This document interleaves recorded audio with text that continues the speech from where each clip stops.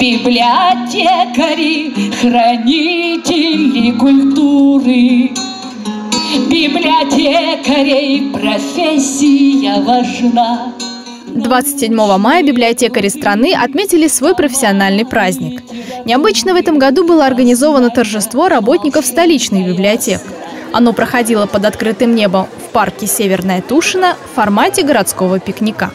Ставшая уже привычная работа в скверах, парках, на улицах и бульварах города вновь объединила художников, поэтов, литераторов, исполнителей, издателей, представителей всех ЦБС Москвы и органов власти.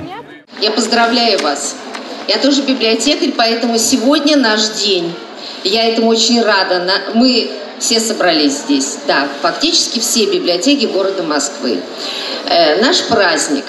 Поэтому я хочу вас поблагодарить за ваш труд, за ваши успехи, за ваши радости, потому что вы своей радостью доставляете радость и жителям Москвы. Вы работаете для них. Библиотечный десант в день своего профессионального праздника гарантировал горожанам интеллектуальные угощения на любой вкус. Лекции и мастер-классы, встречи с писателями и заслуженными читателями, творческие экспромты и образовательные шоу – далеко не полный список событий, в которых мог поучаствовать каждый. Настроение вообще отличное. Я очень рада, что для нас устроили такой грандиозный праздник. А, организация просто на высшем уровне. Очень весело, люди подходят. Э, и растет популярность чтения вместе с этим.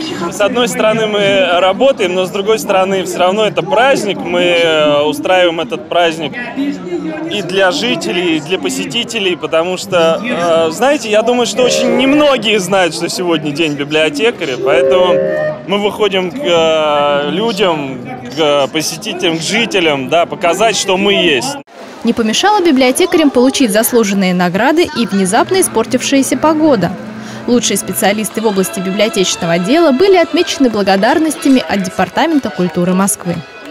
В этот же день на главной сцене прошел окружной этап городского конкурса по чтению вслух «Открой рот», который подхватил неформальную атмосферу праздника и подарил гостям хорошее настроение.